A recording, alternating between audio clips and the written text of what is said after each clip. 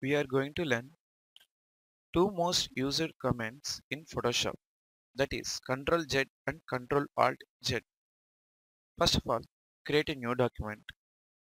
Go to File menu, click on New or use keyboard shortcut Ctrl plus N.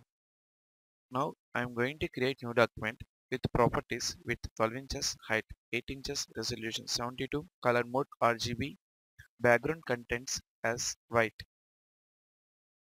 Click OK button. Now I am going to write some numbers using brush tool. Brush tool, keyboard shortcut B. I am writing 1, writing 2, writing 3, writing 4, writing 5, writing 6, writing 7. Now I want to undo my action. That is, what is my last action? Writing 7. This 7 has to be removed. Now I have to use command control Z. Now I want to redo my action. That is, I want my 7 back. What I have to do? Again I should press control Z.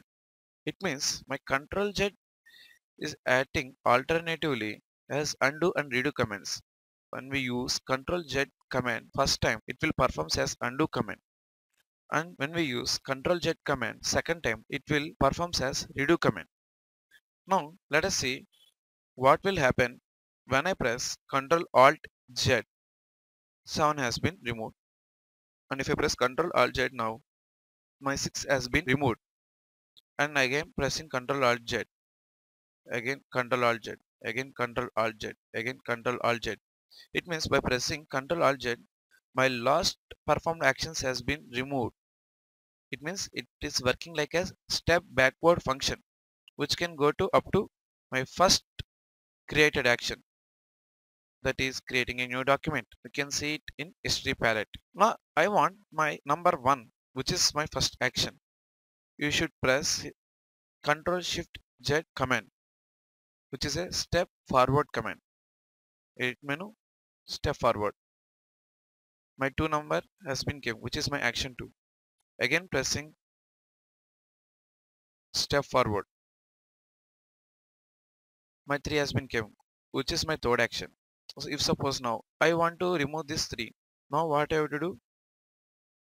I have to press step backward alt control Z. It's so simple. This is the way to use Ctrl Z and Ctrl Alt Z and Ctrl Shift Z commands in Photoshop.